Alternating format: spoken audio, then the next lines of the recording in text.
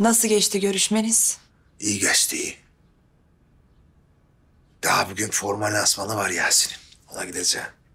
Şu soyadı işini de halledelim İshak Ali gözünü seveyim. Artık gidip kendimi konuşursun, avukatımı ararsın. Ne yapacaksak yapalım artık. Ha, Bu çocuklar evin içinde sahipsiz gezdikçe bana sinir basıyor. Aman aman. Senin sinirlerin kalkmaz. Aradım Ballim'i aradım. Avukat gelecek şimdi. Konuşacağız. Buyurun. Heh. İyi insan lafının üstüne gel bolasın be. Sağ ol Rukiye. Hoş geldiniz. Merhabalar. Hoş geldin, hoş geldin. Gel. Merhabalar Sinan. Sağ ol. Dilerseniz hemen konuya gireyim. Tabii tabii. İshak Ali Bey, daha önce konuşmuştuk biliyorsunuz. Çocukları Ersin Bey'in nüfusuna hemen alabiliriz.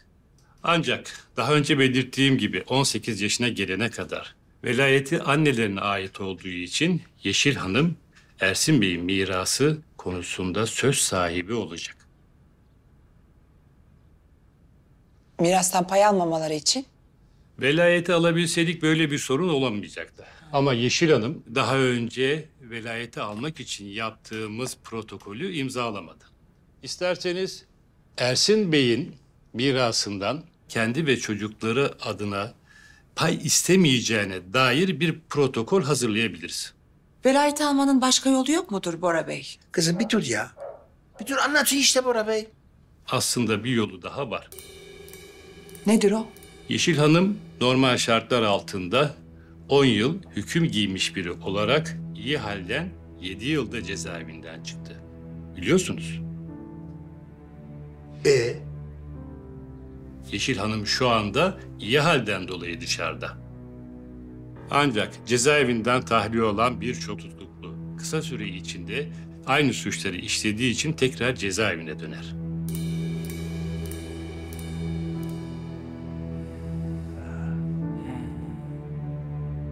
O zaman hal ve hareketlerine dikkat edecek.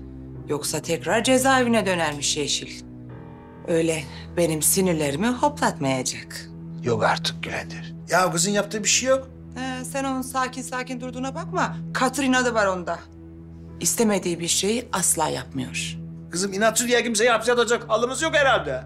Allah Allah. Bir Bora Bey bitirsin, gitsin. Biz bunu bir konuşuruz ha. İshak Bey'e söylemiştim.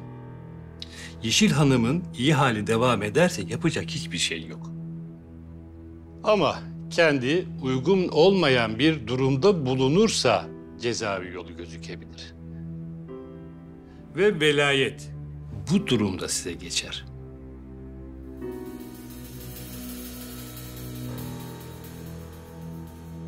Sen protokolü hazırla Borazım.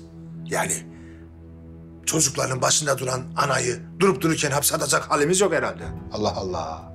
Tamam İshak Bey, bir an önce hazırlarım. Detayları konuşuruz zaten sonra. Eğer ben de Rukiye'ysem bunu senin yanına bırakır mıyım? Ay. Rukiye Hanım. Lamia abla Seni böyle mutlu görmek ne kadar güzel. artık böyle. Artık böyle.